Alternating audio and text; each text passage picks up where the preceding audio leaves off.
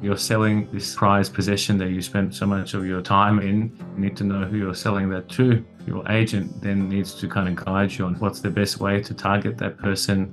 Eric and Ming did what they were going to do and they generated competition. They definitely achieved our goal. This palatial property, five bedrooms, four bathrooms, ample car accommodation, close to public transport, freeway access, restaurants, public schools, private schools. The list goes on. Ladies and gentlemen, you name it, we have it. My name's Iraj, and we sold our family home in Glen Waverley. We work very well and closely with Eric and Ming. I'm going to call for a fair and reasonable opening bid to get us underway. 3.3, welcome to bidding. 3,300,000. 3.4, thank you very much, Ming, and good luck today.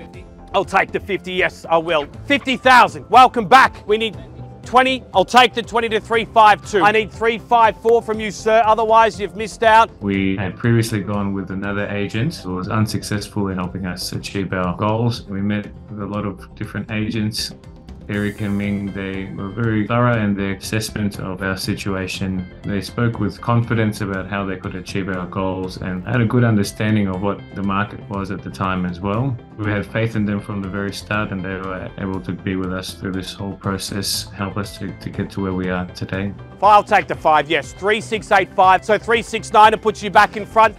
3.7, even better. Looking for a rise of at least $5,000. Otherwise, this hammer will fall. 3702. I'll take the two reluctantly, but I will take it. 704. 71. 715. It's against you at 715. What Eric did was that he kind of completely turned the situation around and said, look, you've been unsuccessful so far, so we have to bring some change into the strategy that we adopt.